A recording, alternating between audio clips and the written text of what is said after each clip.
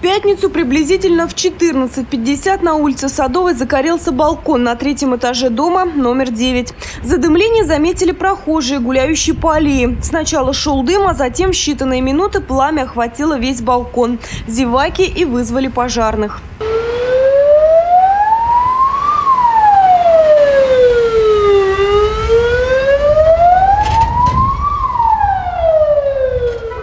Момент прибытия происходило открытое горение на балконе третьего этажа.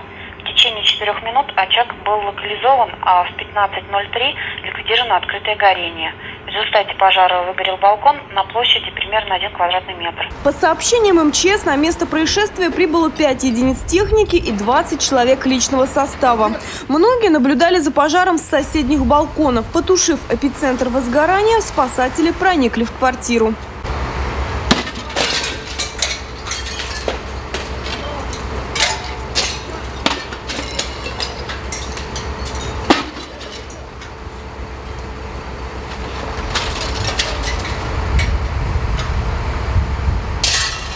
К счастью, пострадавших там обнаружено не было. Соседи рассказывают, что в квартире проживает мужчина. Видимо, на момент пожара дома он отсутствовал. Также опасность угрожала и детскому саду, который располагается на первом этаже здания.